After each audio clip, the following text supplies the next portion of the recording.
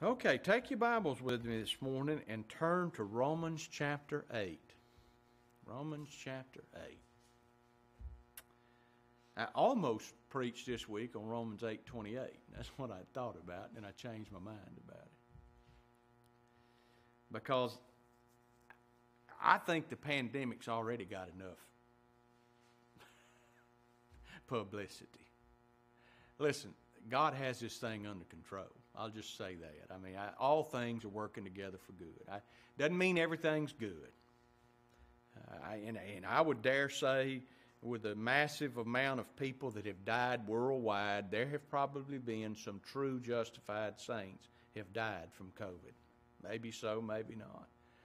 Long and the short of it is, if they died, they died in the Lord, thankfully and they went truly to be absent from the body to be present with the Lord. But you know, there's no guarantee that everything's always going to be smooth in our lives. We know that to be the case. But here's the thing we also know. Our lives do not revolve around what goes on down here in this present world. We have to live here. But I tell you, one of the things that, that I think I am coming to grips with more and more that our Lord continually teaches me every single day when I wake up again and I take that first breath when I sit up on the side of the bed in the morning, I realize more and more this place is not my home.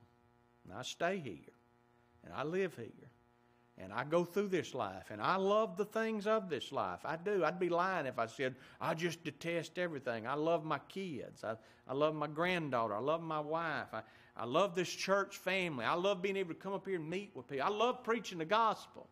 I can't envision a time when I don't preach the gospel. But all these things, folks, are of the earth earthy. Ultimately, all these things, either through death or old age or tragedy, they're going to all come to an end. But this thing that we're talking about, this, this thing of salvation, this thing of eternal life, this thing of eternal blessedness in Christ Jesus our Lord, it is eternal in nature. You cannot take that from the child of God. We have a good hope through grace, do we not? We have a blessed hope that no man can take from us. Yet in this world, we deal with it, and I'm on, I think, Lord willing, hopefully I've been working on it now for almost a month. I told Bill the other day I have tried for four weeks to start a series on Romans 7. And I, Lord willing, I'm going to get it started and do it next week. And in four weeks of studying and preparing, I've wrote a paragraph and a half. That's all I get done. But I think this can be a springboard back to Romans chapter 7. We are in a warfare. I hear people say all the time, I'm in a warfare. Listen, people who do not believe this gospel, they're not in a warfare. Now, they might be wrestling with their own consciences, but they're not in the battle. You, you got to know Christ to be in the battle. Or better than that, Christ has, you have to be known of God to be in the battle. He has to have created Christ in you, the hope of glory, before you ever get engaged in this thing. Before that, all, the, the, all that, the armor of Christ, it's of no avail to an unbeliever. Gives him no necessity, no help, no comfort, no peace, no security. And uh, know, here's the thing we, we in this world, as long as we live here, we're going to face this struggle, this inward struggle against sin, against the flesh, against the world, and against the devil. It's just going to be there. I wish it were not so. But I tell you, even to make that kind of a statement is a slap in the face of our God. Because if it were not meant to be so, it would not be so. If it was better for me for that old nature to be gone, don't you think God would have took it away? So there's something there for us. But look at this verse that we're going to look at this morning. I've entitled this message, The Law That Set Me Free. People say, oh no, the law can't set anybody free. Well, hold on. We're going to talk about this this morning. The law that set me free. Notice what he says. We'll read verse 1 and 2 together. Therefore, there he is, is in italics, so it wasn't in the original. Therefore, now no condemnation to them which are in Christ Jesus. And if you if you know anything about the original, that phrase "who walk not after the flesh but after the spirit" was actually not in the original translation. So this verse really reads, Therefore, now no condemnation to them which are in Christ Jesus. For, here's our text this morning, for the law of the Spirit of life in Christ Jesus hath made me free. See that? hath made me free from the law of sin and death. Now, I know, and I, have dealt with people all these times. People run to extremes. The, the, the, natural mind receiveth not the things of the Spirit of God, neither can he know them, for they're spiritually discerning. The natural mind reads something like this, or they hear this message that I'm going to preach this morning. I, I know I've got friends and I've got family that listen to me, and I'll guarantee you, in their unregenerate state, they might be moral, sincere, dedicated, committed, just like I've told you before in Charlie Brown's Halloween and Christmas when the teacher's standing up there at the front, what do they hear? Want, want, want, want, want, want, want. They'll hear, and in their mind, as I tell you what the Word of God tells you and me as God's children, those redeemed and justified through the blood and righteousness of the Lord Jesus Christ, their unregenerate mind hears, He's saying you can do whatever you want to do.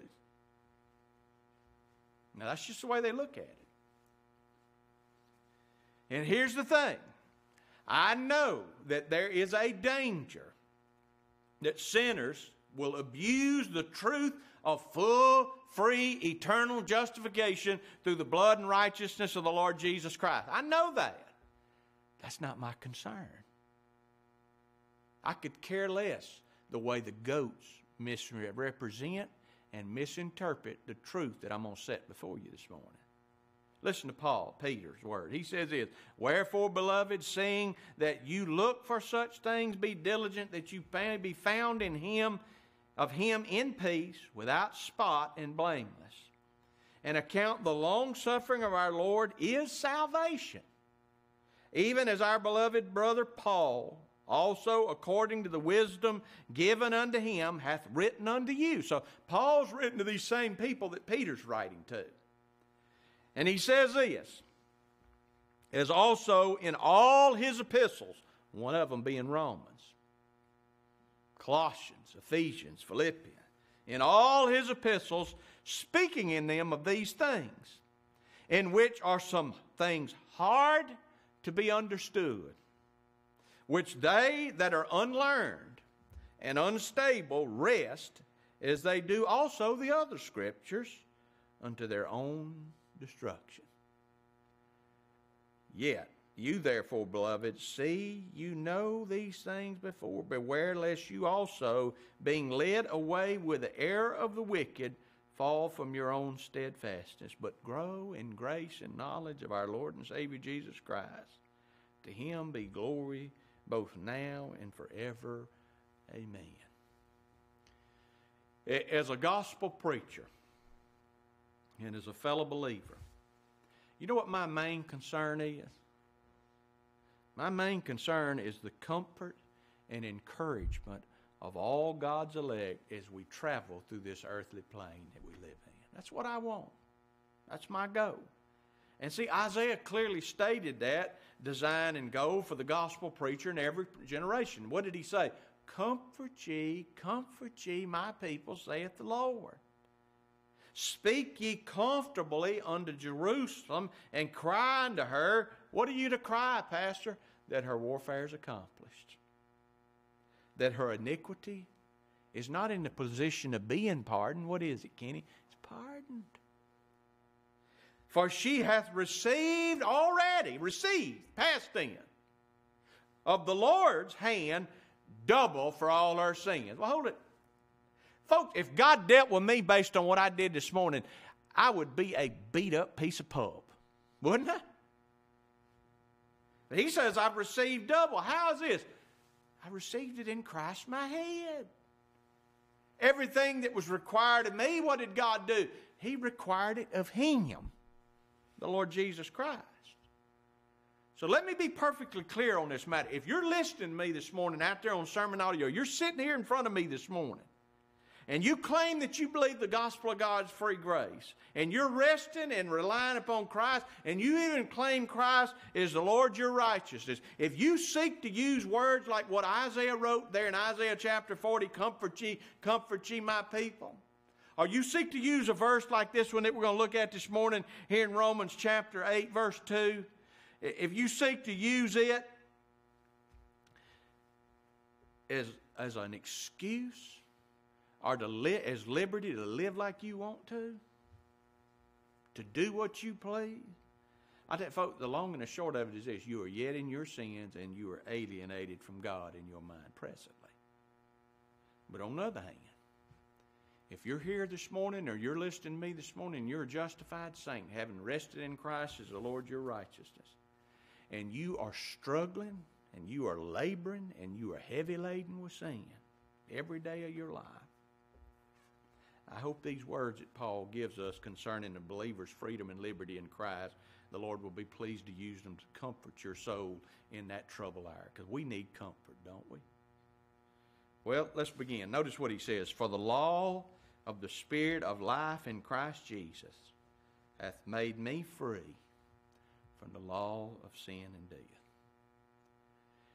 The Apostle Paul used the word for here begin this verse, which indicates to you and me, kind of like the word therefore, therefore. It indicates to us that whatever he's about to write, whatever he's about to say, is connected to and is the explanation of what he said immediately before. So, what did he say immediately before at Romans 8 2? Therefore, no condemnation to them which are in Christ Jesus. Do you think God meant that? I, I, I said this for almost 33 years now.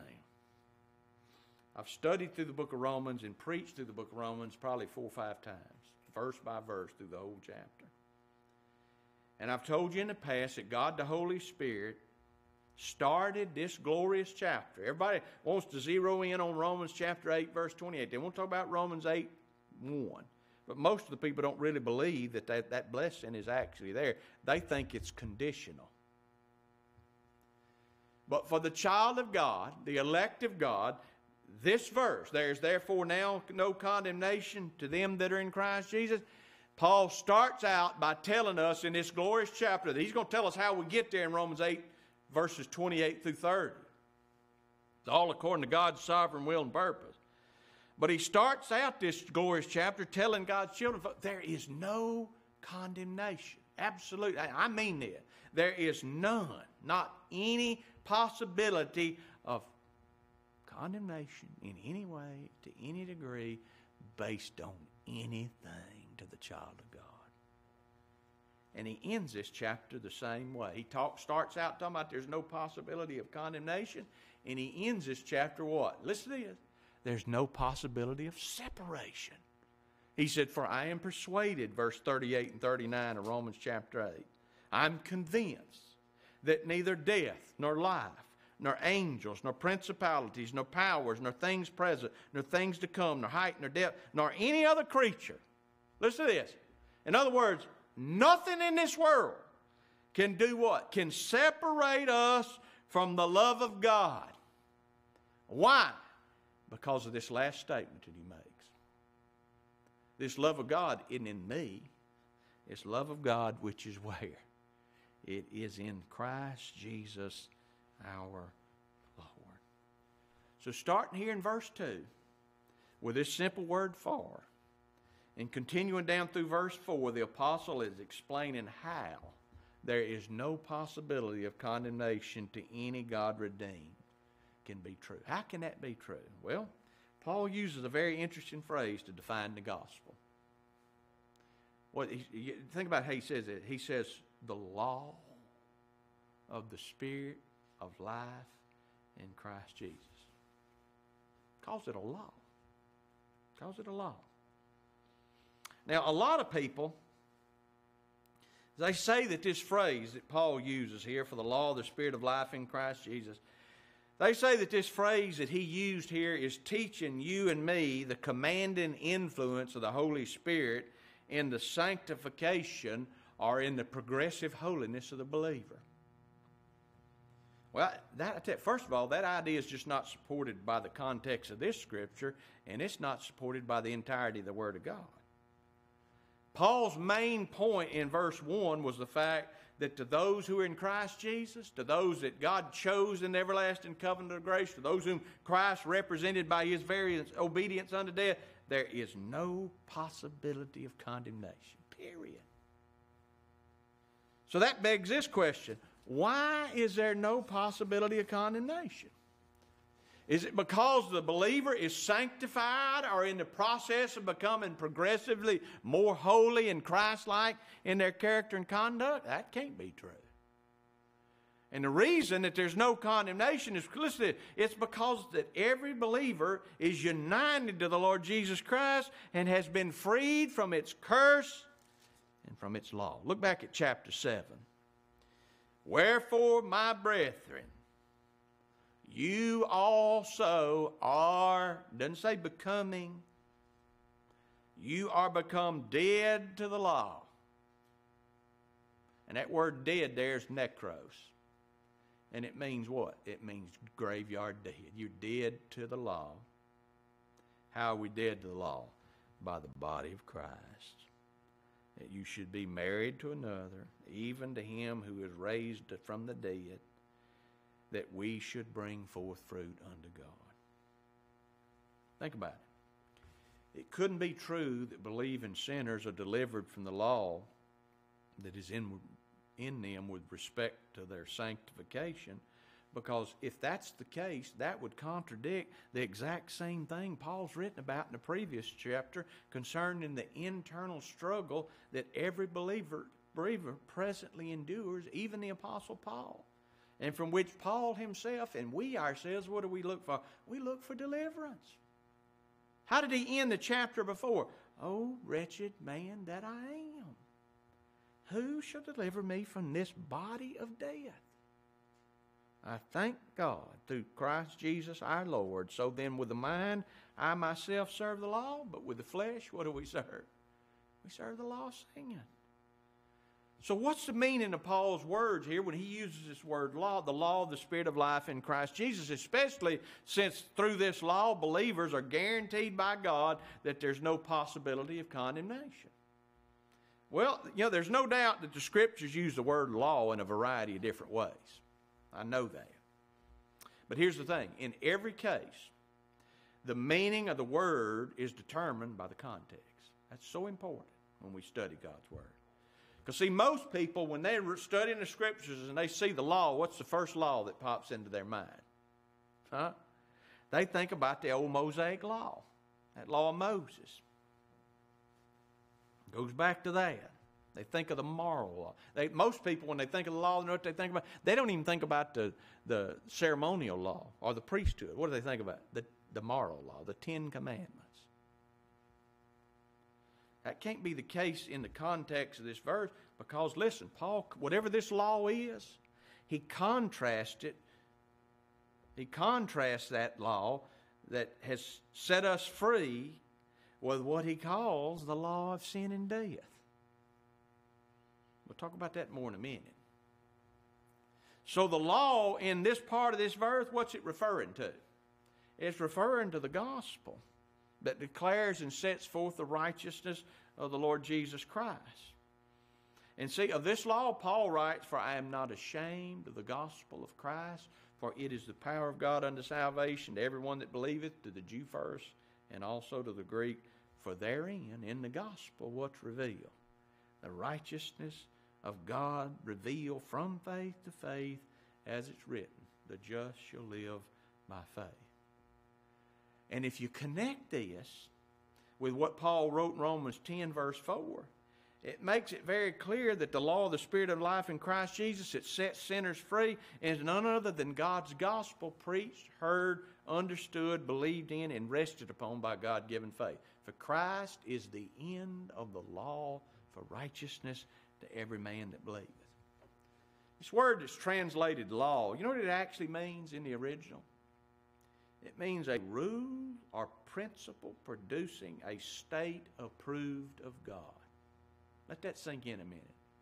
A rule or principle producing a state approved of God. And this state of approval before God, this law that he's talked about, it's attributed to who? The law of the Spirit of life in Christ Jesus. What's the Spirit's job? Huh? No. No. Healing? Nope. What's his, what's his job? He, when he, the Spirit of truth, has come, he'll take the things that are mine, and what will he do? He'll reveal them unto you. How do we know it's the Holy Spirit that's dealing with us? Who does he speak of? Who does he declare? Who does he push to the forefront? If he promotes himself, what is he? He's another spirit. But if he exalts and honors and magnifies the person and work of the Lord Jesus Christ, we know it's the Holy Spirit. Matter of fact, you think about it, the gospel itself is called the Spirit, is being administered by the Holy Spirit. Listen to these words. But if the ministration of death, written and engraven on stones, was glorious, what's that? That's the moral law given by angels to, the, to, to Moses the mediator. And he said? Well, it was glorious, no doubt about it. Paul said in Romans chapter 7, the law is just, holy, just, perfect, and good, right? He said it was glorious, so that the children of Israel, and I always think about this, when he came down off that mountain, what did they say? He had to cover his face because they couldn't look on him. Children of God could not steadfastly behold the face of Moses for the glory of his countenance. But listen to this caveat which glory was to be done away. How shall not the ministration of the Spirit be more glorious. For if the ministration of condemnation be glory, much more doth it. What's the Spirit minister? The ministration of righteousness exceed in glory. Even that which was made glorious had no glory in this respect by reason of the glory which excelleth. For if that which is done away with glory was glorious, much more that which remaineth is more glorious. This law is called the law of the Spirit and life because the administration of this law, what does it always result in? It always results in life, spiritual life. It always results in the exact opposite of what the moral law always accomplished. Listen to this. Who also hath made us able ministers of the new covenant, not of the letter, but of the Spirit. Listen to this. For the letter killeth, but the Spirit, oh, the Spirit, that Holy Spirit of Christ, the Spirit giveth life. See, this spiritual life is the opposite of spiritual death, which all sinners exist in by nature. Our Lord Jesus Christ said, It is the Spirit that quickeneth. That word quickeneth means to be made alive. Ezekiel wrote, I will put my spirit in you. And if he puts his spirit in you, what's the result? You shall live. He don't spark us up in hope that we'll get up on our legs and walk. When God, when Christ, you know, every miracle our Lord did, when he performed it, it was complete. When he told that man, stretch forth the arm, it wasn't one of these. You know, he just had to to exercise and get it to, it was perfect. The woman with the issue of blood touched the hem of his garment, healed totally and completely. When he gives life, folks, it's eternal and it's unchangeable. And see, every person is given the principle of natural life in Adam. Matter of fact, Paul said that Jesus Christ is the life source of all creatures, for in him we live and move and have our very being. But in contrast, those who are born from above, born by the Spirit of God through the, this law, through this principle, they are given heavenly and spiritual life. The life referred to is that life that we receive through the gospel is the law or the power of spirit of life in Christ Jesus, which the apostle calls the life of God. Listen to what Paul said to those at Colossus. When Christ, our life, shall appear then shall we appear with him in glory. So the life of the Spirit that the Spirit gives to God's elect in each generation is life purchased and it's life accomplished through the person and work of the Lord Jesus Christ. But that brings me to the last part of this verse. And I want to make a few more points and I'll stop. For the law of the Spirit of life in Christ Jesus hath made me free from the law of sin and death. Now, if you don't get anything else this morning, you get this. The thing that a believer, a justified saint, has to take away from this word is the total liberty and total liberation from the law of sin and death. Now, we could go back, we could make a long, long message on what he said. You're not under law, you're under grace. But here's the thing I find so amazing words are amazing things, especially when we get back to the original language. And what so I find out so, find so amazing about the way that he states this particular verse is this phrase that he uses here for hath made me free from the law of sin and death. The word translated hath made in English and the word translated free. It says hath made me free. The word hath made and the word free, you know what they are? They're the same Greek word.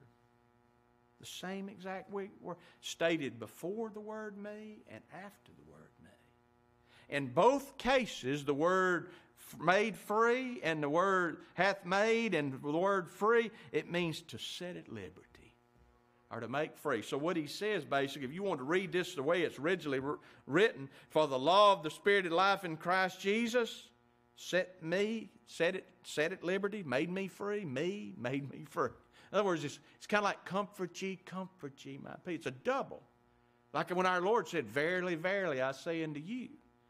In other words, he's emphasizing to you, me, you and me the importance of our freedom and liberty in Christ Jesus. So Paul wrote of himself, which includes every elect and every generation. This is what he's saying.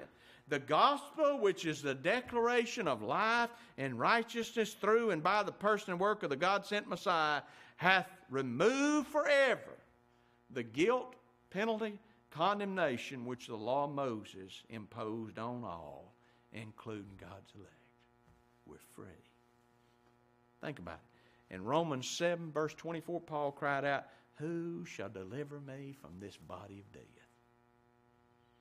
Every one of us here this morning, everybody that's listening to my voice, our old human body was made to be a body of death. It started dying the minute we were born. Because God's law requires from this, from this humanity, what does it require? Perfect obedience. Thought, word, and deed from the cradle to the grave. And the least infraction of God's law, what does it require? Why am I dying?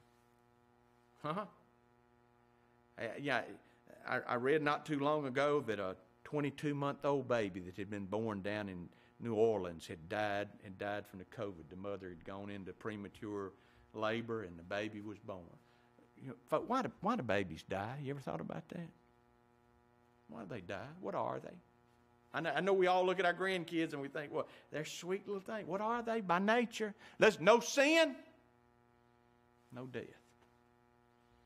That teaches us about the nature of man there. If there was no sin, folks, there'd be no death. So all of us are in this body of death because God requires perfect satisfaction. But in this verse, Paul gives us the answer. What does he tell us? What's the answer for this law of sin and death? The righteousness of God, which is only declared one place through the gospel.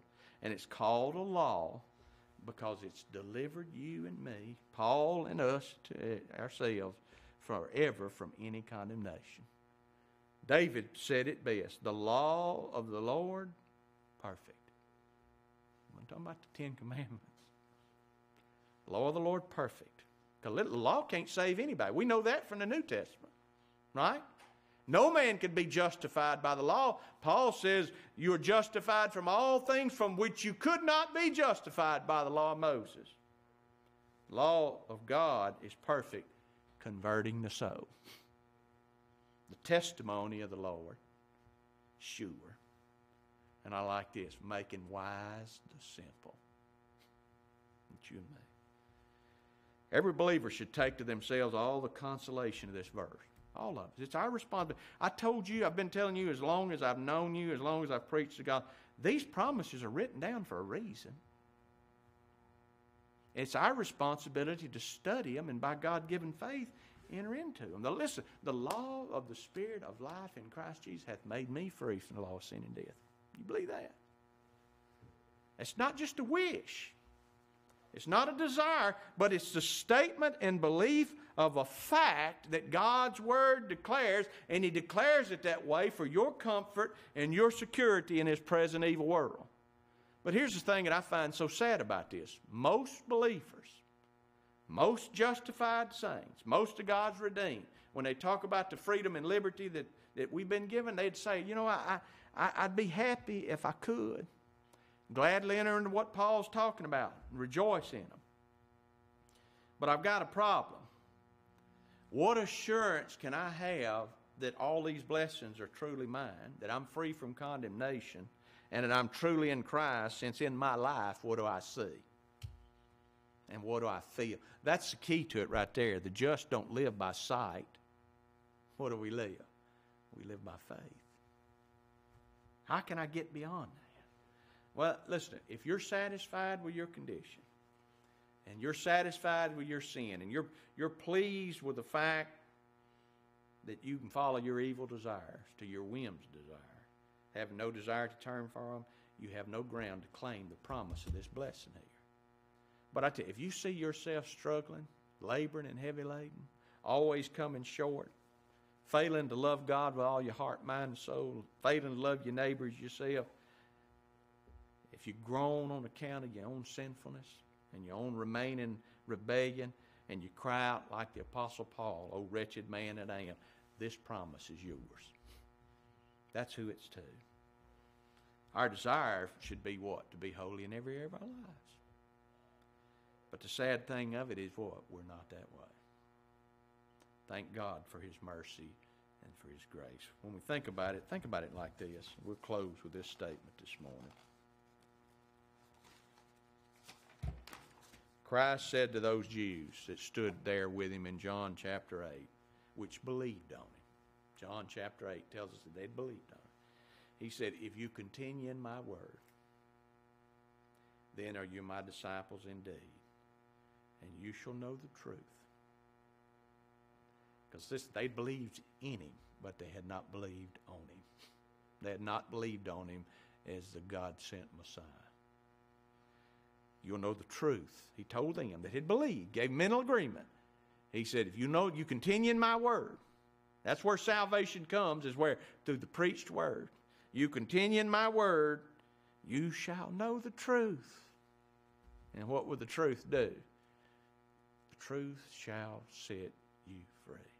For the law of the Spirit of life in Christ Jesus hath made me free from the law of sin and death. Have you been made free from the law and sin and death? I hope that you have. If you hadn't, I pray that the Lord, by His grace, through His gospel, will set you free, and that freedom will be freedom indeed. Okay, let's stand together, and we'll be dismissed. Appreciate your presence. Lord bless you and keep you through this next week. Kenny, if you would lead us in a closing prayer.